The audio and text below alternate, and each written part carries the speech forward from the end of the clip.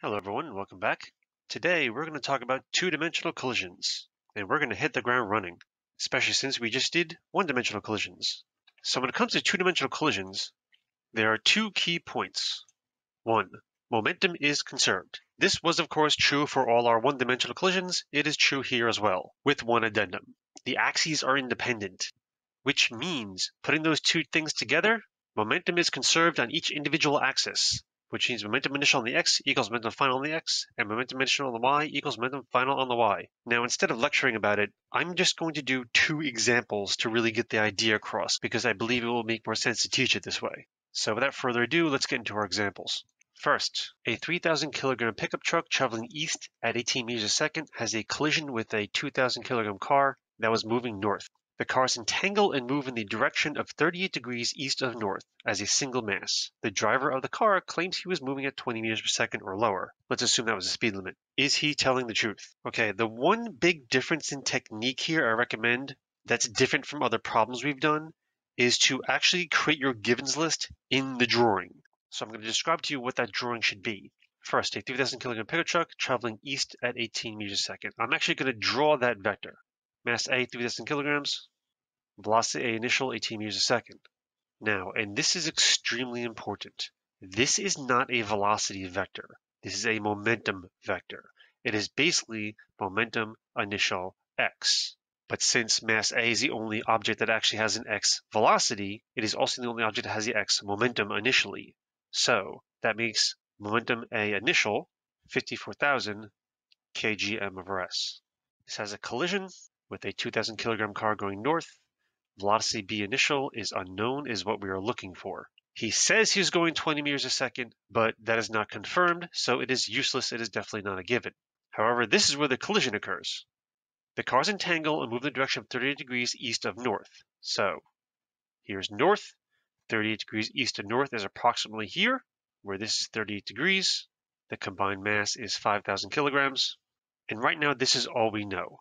So this combines my vector drawing and my givens list all in one. And the reason why I recommend doing this is because it keeps track of everything that's happening on each individual axis. And you need to remember the axes are independent of each other. So you're either working with one or you're working in the, in the other, but you're never working in both at the same time. To go back to an earlier rule, I have a vector at an angle to my major axes here. And anytime you have a vector at an angle, you are always breaking it up. This vector is going upward and to the right. Now, to connect with my rules, this is the only object that has initial x momentum. And this component is the only part that has a final x momentum. So momentum final on the x-axis must be 54,000 kgmrs.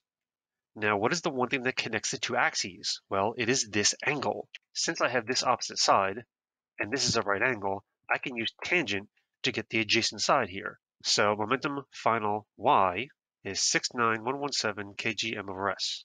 And again, these are momentums. So just on a side while we're here, another question that could be asked is what is the velocity of the combined wreckage? If I have these two sides, I can get momentum total, which is 87,711 kgm over s. Taking momentum divided by the mass, I get velocity final total of 17.5 meters a second at 38 degrees east of north. So this is one possible thing that could be asked for. But in the case of our problem, we actually still need to find out whether the person driving in the car was telling the truth or not. So let's find out. If momentum final y is this value, then momentum initial y, in other words, momentum b initial, because it was the only object on the y-axis, must be 69117 kg over s.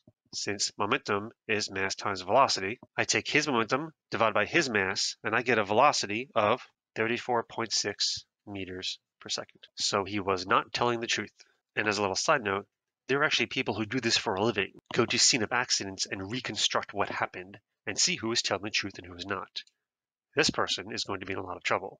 All right, while I'm here, I'll mention one more thing. 2D collisions, you're almost always dealing with two types, inelastic and the explosion type. Elastic can be done and use the exact same principles, but they're a little rare to see because they usually take a little longer to do. All right, on that note, let me show you an explosion. A 57 kilogram asteroid is moving with the velocity of 2.03 meters per second at 50 degrees above the negative x-axis.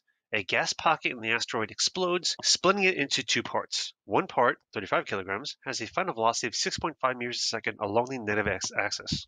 What is the velocity of the other part? So, mass is 57 kilograms, initial velocity is 2.03 meters per second, at 50 degrees above the negative x-axis. So two things. One, again, these vectors are momentum vectors. They are absolutely not velocity vectors. If you try to use velocity vectors in this technique, it will not work because velocity is not conserved. Momentum is conserved. So momentum initial is 115.7 kgm of res. And another thing, considering I have a vector at an angle and I know I'm going to need to do it anyway because you're going to need to do it every single time, I'm going to break it up right now because any vector you see an angle in physics, you're always going to break up. Momentum initial x using cosine will give me 74.37 kg m over s. Momentum initial on the y using sine will give me 88.63 kg m over s. Here's the explosion.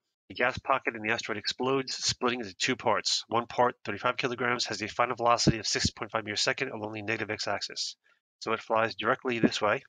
I'll call this object mass A, 35 kilograms, velocity A final, 6.5 meters per second along the negative x-axis, which means momentum final A is 227.5 kgm over s. I'm going to move this over here so I can do a little work. Okay, so looking at this, this asteroid splits. There is an initial momentum on the y. The final momentum for this piece is only on the x. Therefore, we definitely have a final momentum on the y. And that final momentum on the y has to be the same as the initial momentum on the y, 88.63 kilograms meters per second. So the question here becomes, what about the x-axis? Well, I'll go back to my statement. Momentum initial x equals momentum final x momentum initial x, there's only one of them. However, momentum final x is going to be momentum final a x plus momentum final b x.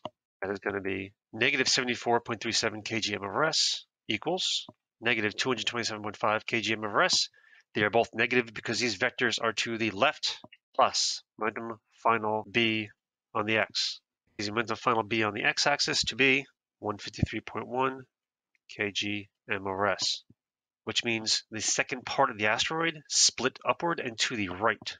Momentum final B on the X, where this is B on the Y, 153.1 kg MRS, which means this is the final vector direction, and this is the angle I'm looking for. Using Pythagorean's theorem, momentum final is 176.9 kg MRS.